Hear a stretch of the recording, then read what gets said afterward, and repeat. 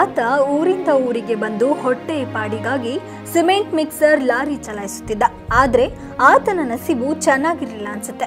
ಪಕ್ಕದಲ್ಲಿ ಬಂದ ದ್ವಿಚಕ್ರ ವಾಹನ ನ್ಯಾನೋ ಕಾರಿಗೆ ಡಿಕ್ಕಿ ಹೊಡೆದು ಬೈಕ್ ರಸ್ತೆಗೆ ಬಿದ್ದ ಸಂದರ್ಭದಲ್ಲಿ ಹಿಂಬದಿಯಿಂದ ಬಂದ ಲಾರಿಗೆ ಆರು ವರ್ಷದ ಮಗು ಅಹಾನ್ ಖಾನ್ ಸಿಲುಕಿ ಸಾವನ್ನಪ್ಪಿದ್ದ.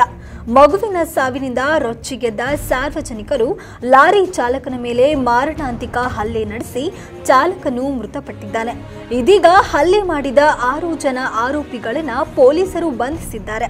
ಹತ್ತಿ ಬೆಲೆಯನ್ನು ಆನೆಕಲ್ ತಾಲೂಕು ಇನ್ನು ಈ ಈಶ್ವರಿ ಅಂತ ಹೇಳಿದಂಥವಳು ಈ ಕೃಷ್ಣಾರೆಡ್ಡಿ ಲೇಔಟಲ್ಲಿ ನೆರಳೂರು ಹತ್ತಿ ಬೆಲೆ ಆನೆಕಲ್ಲವಳು ಇವರು ಬುಕ್ಕಿ ಗಾಡಿಯನ್ನು ಡ್ರೈವಿಂಗ್ ಮಾಡ್ತಕ್ಕಂಥ ಕೆಲಸ ಮಾಡ್ತಕ್ಕಂಥವ್ರು. ಮತ್ತೆ ಇಪ್ಪತ್ತು ವರ್ಷ ಈತ ವಿದ್ಯಾರ್ಥಿ ಕಮ್ಮಸಂದ್ರದಲ್ಲಿ ಇವನು ಸಹ ಆನೆಕಲ್ಲವನು ಪ್ರಕಾಶ್ ಬಿ ಕೆ ಕಾಳಾಚಾರ್ಯ ಅಂತೇಳಿ ಹತ್ತೊಂಬತ್ತು ವರ್ಷ. ಮತ್ತೆ ರವಿ ಎನ್ ಎಲ್ ನಲವತ್ತು ವರ್ಷ ಇವನು ಭಜಂತ್ರಿ ಒಟ್ನಲ್ಲಿ ಮಗುವಿನ ಸಾವಿನಿಂದ ರೊಚ್ಚಿಗಿದ್ದ ಸಾರ್ವಜನಿಕರು ಲಾರಿ ಚಾಲಕನ ಮೇಲೆ ಹಲ್ಲೆ ಮಾಡಿದ್ದು, ಚಾಲಕ ಮೃತಪಟ್ಟಿದ್ದು ಸಾರ್ವಜನಿಕರು.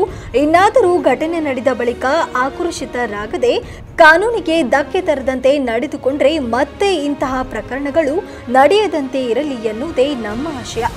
ಮಹೇಶ್ ವಿ, ಕನ್ನಡ ಟಿವಿ ಅನೇಕ